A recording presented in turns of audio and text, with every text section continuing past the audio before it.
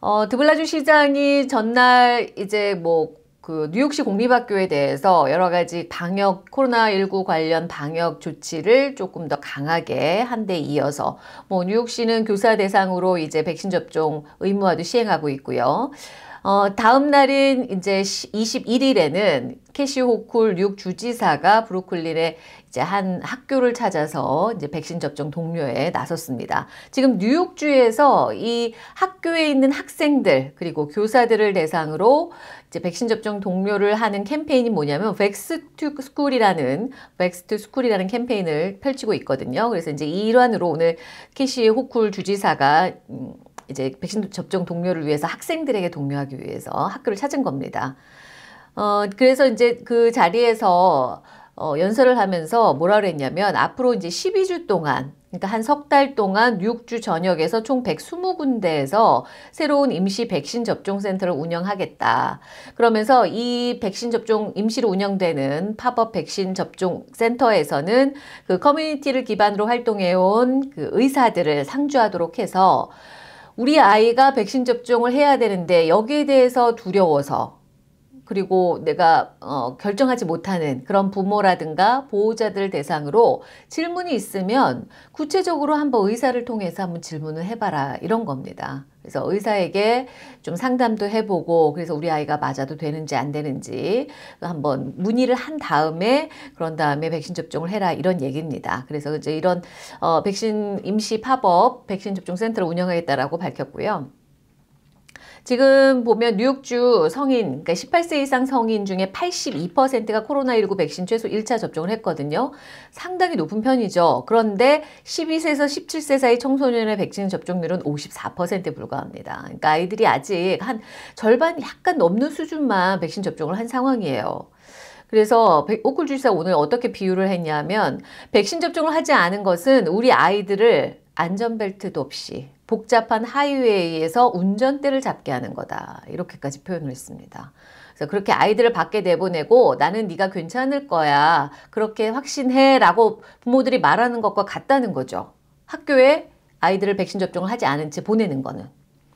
이 정도까지 심각하다라고 이제 오늘 좀 강력하게 경고의 메시지를 보냈습니다.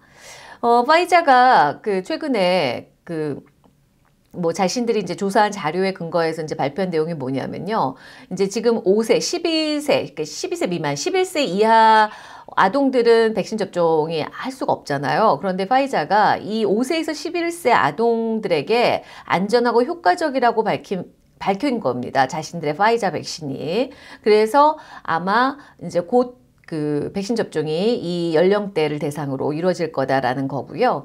그 앤소니 파우치 박사도 그랬죠. 아마 할로윈쯤 할로윈쯤에 이들 5세에서 11세 사이 아동들에 대한 백신 긴급 사용 승인 날 것 같다. 이렇게 얘기를 했습니다. 그렇다는 거는 이제 초겨울에는 이 아이들도 백신을 맞을 수 있겠다는 거죠.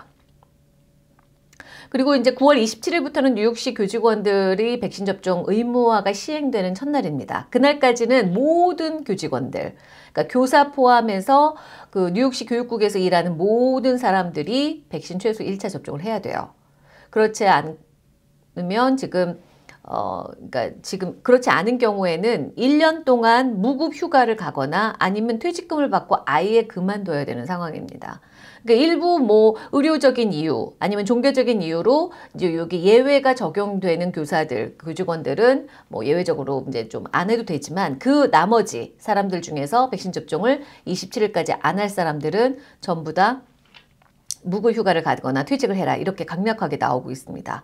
그런데 지금 아직 이제 일주일도 안 남았잖아요. 그런데 지금 현 시점에서 뉴욕시 교직원들 중 2만 8천 명은 아직도 백신 접종을 하지 않은 것으로 나타났습니다.